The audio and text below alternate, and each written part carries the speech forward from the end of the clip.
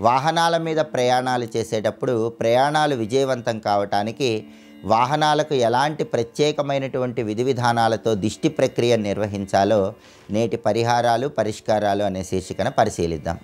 ఎవరైనా సరే బండికి దిష్టి తీసేటప్పుడు ప్రత్యేకమైన విధి విధానంతో బండికి దిష్టి తీయాలి. శనివారం రాత్రిపూట బండిని శుభ్రంగా నీటితో కడిగి ఆ తర్వాత బండికి గంధం బొట్లు కుంకుమ బొట్లు అలంకరించాలి.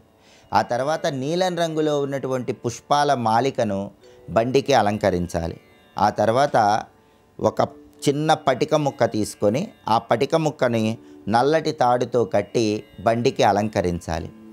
ఆ తర్వాత బండికి కర్పూర హారతి ఇచ్చి రెండు నిమ్మకాయలు బండి చక్రాల దగ్గర ఉంచి వాటి మీద నుంచి బండి పోయేలాగా చూడాలి. ఇలా చేస్తే బండికి ఉన్నటువంటి దృష్టి దోషం మొత్తం తొలగింపజేసుకోవచ్చు. ఇలా శనివారం రాత్రిపూట బండికి దిష్టి తీసిన తర్వాత ఒకసారి ఆంజనేయ స్వామి వారి ఆలయం దగ్గర బండికి పూజ చేయించుకోవాలి. ఇలా చేస్తే బండికి ఉన్నటువంటి సమస్త దృష్టి దోషాలు తొలగింపజేసుకొని సకల శుభాలను సిద్ధింపజేసుకోవచ్చు.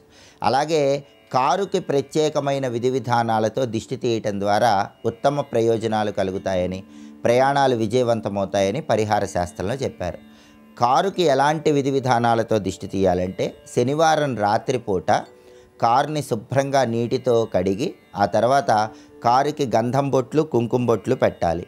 ఆ తర్వాత ఒక చిన్న పటిక ముక్క నాలుగు నిమ్మకాయలు కొన్ని మిరపకాయలు వీటన్నిటినీ దండలాగా కట్టి ఆ కారుకు అలంకరించాలి. ఆ తర్వాత ఒక నల్లటి వస్త్రాన్ని తీసుకొని ఆ నల్లటి వస్త్రంలో కొన్ని నల్ల నువ్వులు ఉంచి మూటగట్టి ఆ మూటని నువ్వుల నూనెలో ముంచి ఆ మూట మీద కర్పూరం ఉంచి ఈ మూటను ఒక పళ్ళెంలో ఉంచి ఆ కర్పూరం వెలిగించి కారుకి మూడుసార్లు సవ్య దిశలో మూడుసార్లు అపసవ్య దిశలో దిష్టి తీయాలి. అలా దిష్టి తీసిన తర్వాత కారు చుట్టూ తొమ్మిది సార్లు తిరిగి ఆ తర్వాత కారుకున్నటువంటి నాలుగు చక్రాల దగ్గర నాలుగు నిమ్మకాయలు ఉంచి వాటి మీద నుంచి కారు ఒకసారి వెళ్ళేలాగా చూడాలి. ఇలా చేస్తే కారుకున్నటువంటి దృష్టి దోషం మొత్తం తొలగింపజేసుకోవచ్చు. ఆ తర్వాత ఒకసారి శివాలయం సమీపంలో కారుకి ప్రత్యేకమైన పూజ నిర్వహించినట్లయితే కారుకున్నటువంటి దృష్టి దోషం మొత్తం తొలగింపజేసుకోవచ్చు. ఇలా బండికి కారుకి ప్రత్యేకమైన విధి విధానాలతో దిష్టి తీయటం ద్వారా ప్రయాణాలు విజయవంతమవుతాయి. ప్రయాణాలలో భద్రత అనేది ఏర్పడుతుందని పరిహార శాస్త్రంలో చెప్పారు.